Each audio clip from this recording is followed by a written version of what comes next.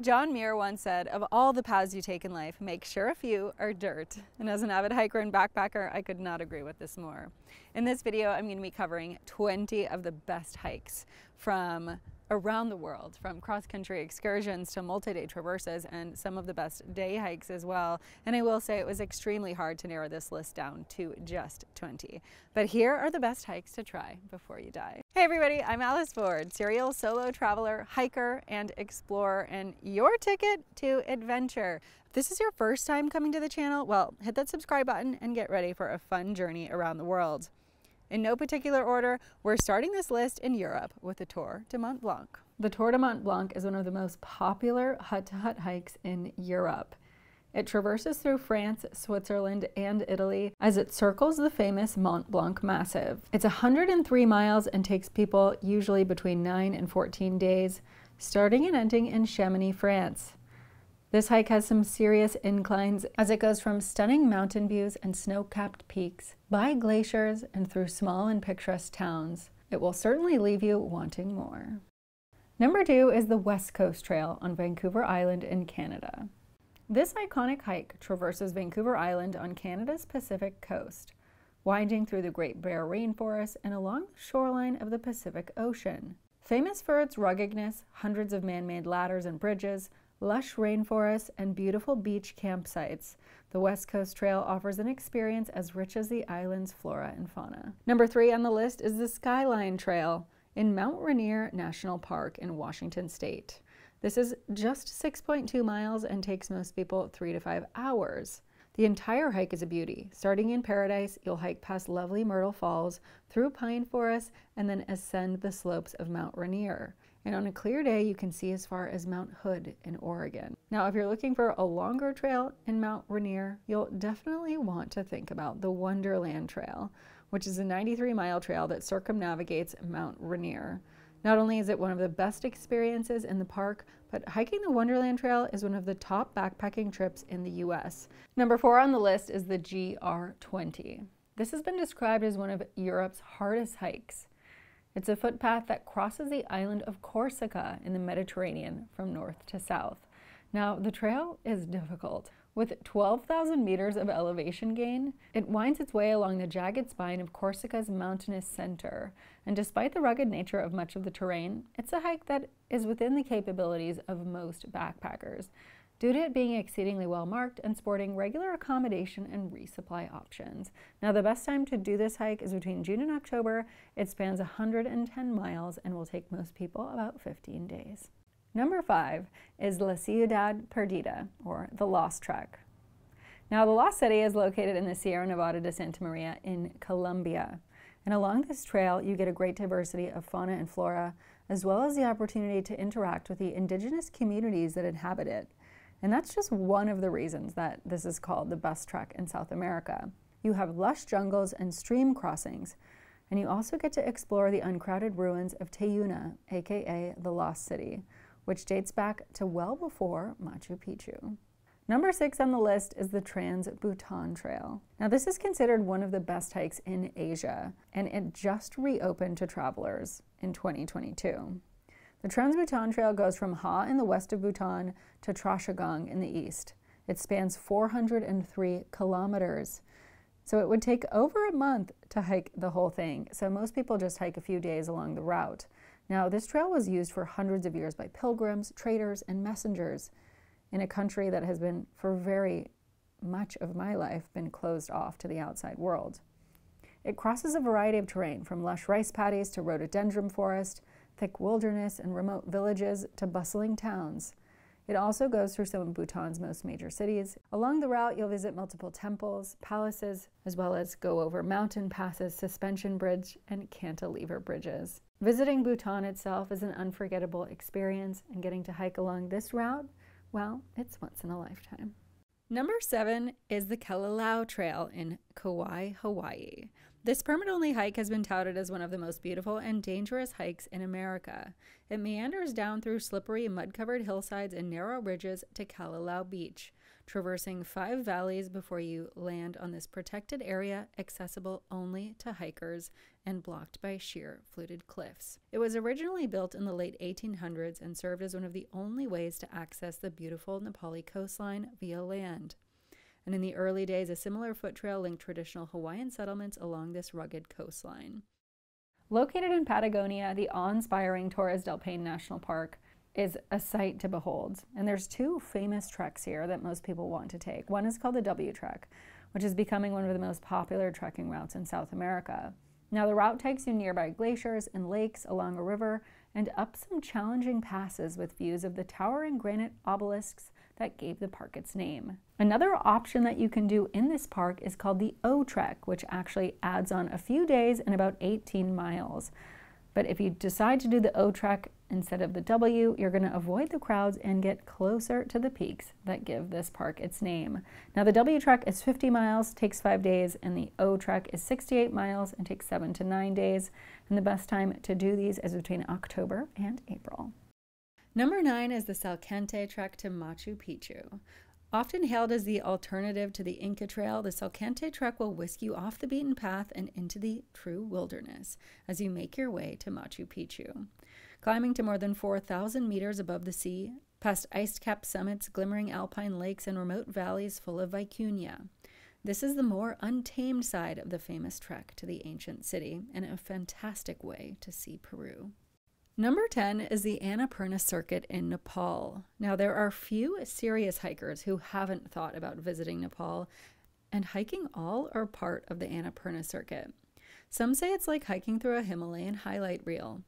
It crosses two different river crossings and encircles the Annapurna Massif, connecting tea houses, Tibetan temples, and subtropical lowlands to spiky high altitude mountains. The 100 mile trek typically takes about 16 days, and will both inspire you and challenge you at every step as you wind your way through some of the tallest mountains in the world. Number 11 on the list is the Alta Via 1 in the Dolomites. Now, some of you might remember that this past summer I hiked in the Dolomites. I actually hiked in the Rosengarten, which is another area of the Dolomites. But the Alta Via 1 is actually the most famous and popular trek in this area of Italy. Now, the Dolomites, if you didn't know, are located in northeast Italy, and they're one of the most beautiful and craggy mountain ranges I have ever seen. The Alta Via 1 is one of the most famous treks and one of the easier multi-day treks in the Dolomites, traversing from the beautiful Lago di Braies through alpine meadows and high into the Rocky Mountains. Now, you can spend as many days as you want on this trek. If you do the whole trek, it's 75 miles and nine days. And the best part is that it's hut to hut. So there's no camping. You can get wine at the end of each day if you want and sleep in a nice warm bed. Number 12 on the list is the Banff Highline Traverse. This is 64 miles. It can take up to eight days to complete. It's located in Banff National Park in Canada. The Banff Highline Trail is a network of trails in Banff National Park. It winds through Douglas fir, large forests, over alpine passes, and by sparkling alpine tarns, along the shoals of glacial lakes, and through the endless alpine scenery of the Canadian Rockies.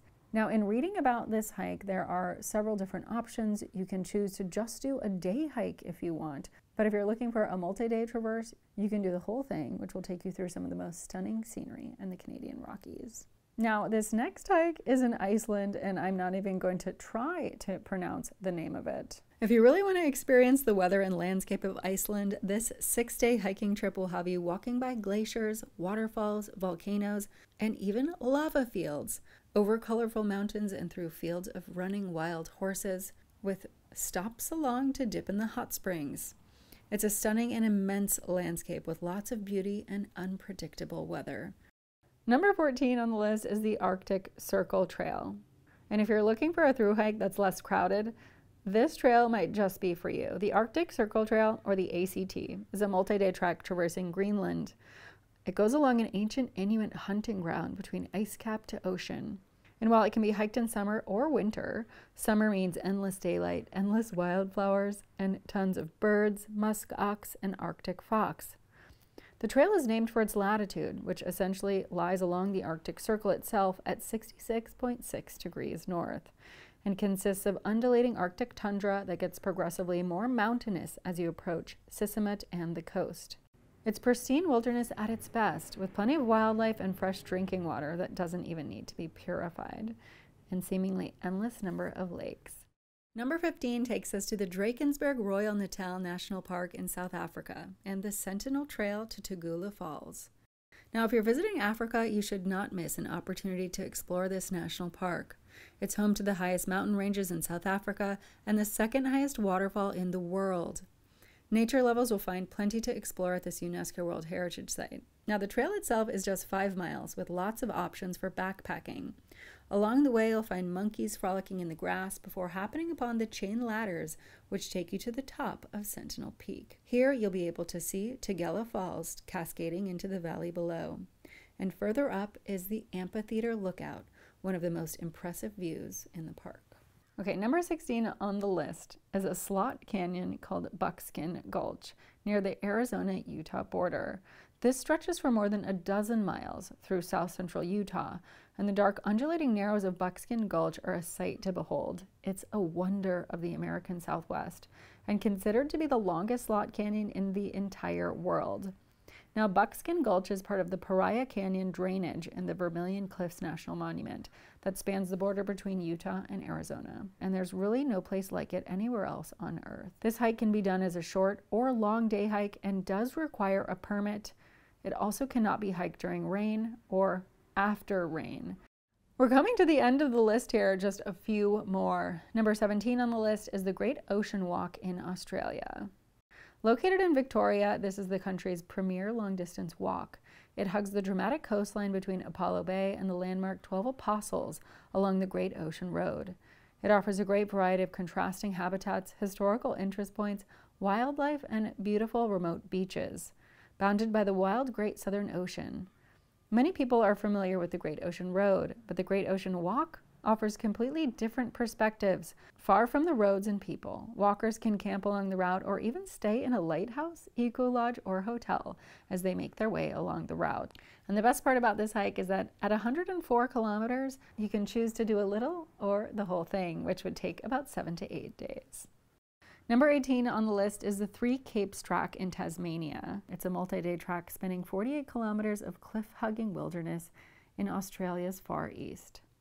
The trail is usually four days and three nights, starting at the World Heritage listed Port Arthur Historic Site.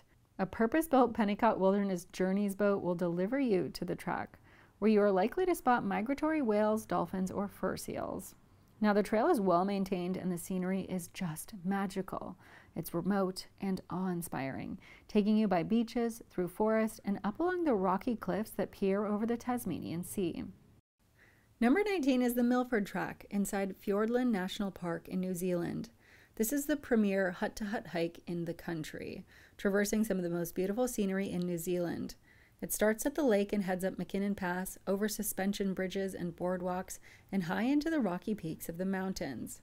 You're almost guaranteed rain on this hike, but that keeps the waterfalls rushing and the scenery pristine. Number 20 is the Grand Canyon Rim to Rim. Now, this national park is one of the wonders of America, and the rim to rim hike is one of the most sought after for those not afraid of the challenge. It's said that less than 1% of the Grand Canyon's 5 million visitors ever see the bottom of the canyon, and this hike starts on the north rim and descends down 6,000 feet to the bottom where the Colorado River runs through. You'll have stunning views of the canyons and the river before ascending the steep switchbacks and several thousand feet back to the top of the South Rim. Wow, those were some incredible hikes. I'm about ready to pack my backpack right now and head for the hills. And I hope this inspired you to plan some of your next hiking trips as well. There were so many fantastic hikes on this list. And as I said in the beginning, it was incredibly difficult to narrow it down to 20. And because of that, I'll be sharing some of these other hikes in some upcoming videos. So make sure you stay tuned to the channel. If you're new, hit subscribe. Make sure you give the video a thumbs up. And don't forget to drop a comment down below if you're planning on doing any of the hikes I listed or if you have any other big hikes planned this year. Now, in making this video, I have definitely added several of these hikes to my list and I hope to check them off my bucket list this year. So we'll see. I've definitely got some planning to do for 2023. But I hope you guys enjoyed the video. As always, I'm Alice Ford, never stop exploring, and I hope to see you on the trail.